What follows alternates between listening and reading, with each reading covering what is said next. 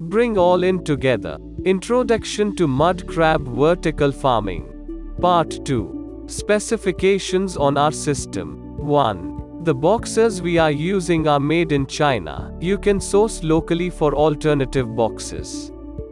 2. The dimensions of our boxes are 215 mm in height, 315 mm in width and 500 mm in depth. 3. The pictures given here shows how we have arranged the boxes in our system with sufficient spacing and piping with proper water supply and aeration. Technical specifications 1. Centrifugal pump. Size of centrifugal pump 29 cubic meters per hour.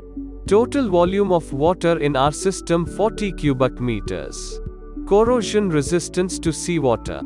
2. Sand filter. Total volume of sand filter 1.1 cubic meters.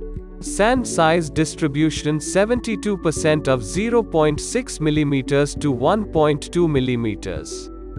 1.2 mm to 2.4 mm in lesser amount.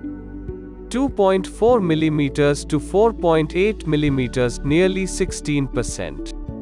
Use per chart to show sand distribution.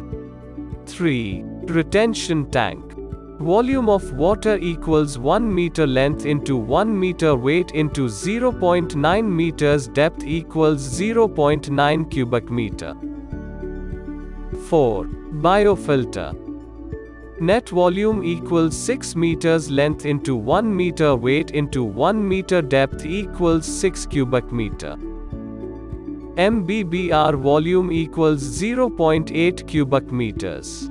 MBBR surface area equals 600 square meters. MBBR density equals 1.0 grams per centimeter 3.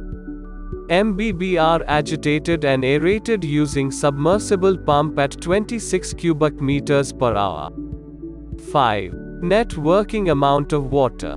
Cellular system plus retention tank plus MBBR plus sand filter equals 14 cubic meters. Important process to control the RAS system. Balanced ecosystem, pH value acidic, basic nature. Dissolved oxygen DO. Alkalinity, salinity, temperature. NH3, NO2, NO3. For the effective result in mud crab farming, it is important to maintain the ecosystem in a balanced state. To farm crabs in a healthy condition, we have to check and maintain the pH, dissolved oxygen and alkalinity of the water. Sometimes, more amount of salt is present in the water that affects the growth of crabs. So, it is also important to maintain salinity and provide a suitable temperature for the comfort of the crabs. The presence of ammonia NH3 causes harmful effects. Thus, we have to consider on the simplification of NH3 to NO2 and NO3.